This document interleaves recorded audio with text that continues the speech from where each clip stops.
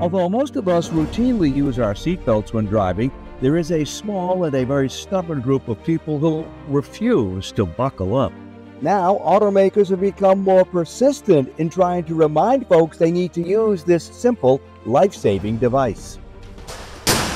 Unbelted occupants can suffer life threatening or even fatal injuries during crashes, and though many vehicles have reminders to click belts, up till recently, those reminders were ineffective in many cases. Two years ago, we started evaluating seatbelt reminders in vehicles both in the front row and the rear row.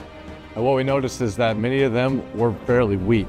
Many reminders were like this one in the 2022 Volvo XC40, not loud enough or long enough. With some prodding from the Insurance Institute for Highway Safety, many automakers have now improved alerts so that more than 60% of vehicles are rated good for seatbelt alerts, as opposed to just 17% two years ago. Why is it that automakers respond quicker to you guys? Is it something called the top safety pick? Well, uh, I mean, that's definitely one reason why manufacturers respond to our ratings. Our top safety pick award, people look out for that when they're shopping for new vehicles.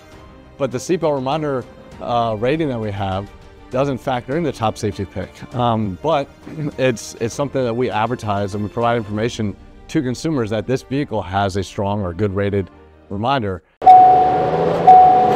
But what makes a good alert? We want that chime to be easy to hear above just the typical vehicle noise itself.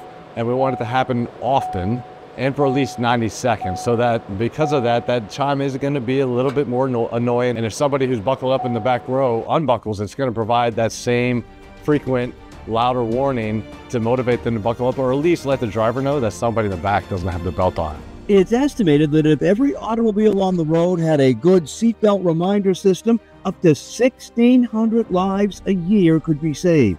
That's a heck of a lot more birthdays to celebrate than funerals to plan. Working for you, I'm the consumer guy, Steve Sbraccia.